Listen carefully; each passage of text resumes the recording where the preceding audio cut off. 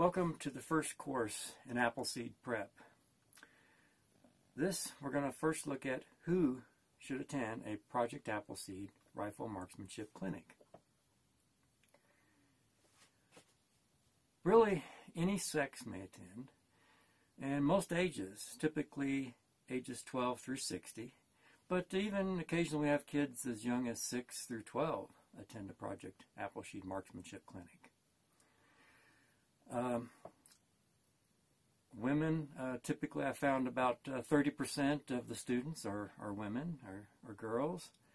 And there are actually LadySeeds in which the whole instructor cadre and all the attendees are all women. Uh, not quite as common, but uh, we do have uh, those available as well. I have a, a, student that I was, when I was an instructor at uh, Palm Beach uh, Palm Bay, Florida, and uh, her name was Emily, and she was 12 years old, and she uh, uh, went through the whole two days of Project Appleseed. Uh, she did get the, an accommodation where she got to shoot all the positions from prone on a supported rest because she, she didn't quite have the strength to do the offhand stuff. But I'll never forget that time she came running back from the line on the second day, and she said, "Mark, Mark, I think I finally got the score. And indeed she did. Uh, also, those that uh, are looking ahead to attending other more advanced courses in uh, tactical shooting, uh, like Thunder Ranch, SIG Sauer Academy, Front Sight, or Gunsite. Uh, but with Appleseed, you can at least get these fundamentals down very affordable two-day marksmanship clinic. Before moving on to more to the more expensive big name instructors you know with their more expensive uh, venues with the shoot houses and that kinds of things. Uh, anyone regardless of experience may attend the project appleseed marksmanship clinic.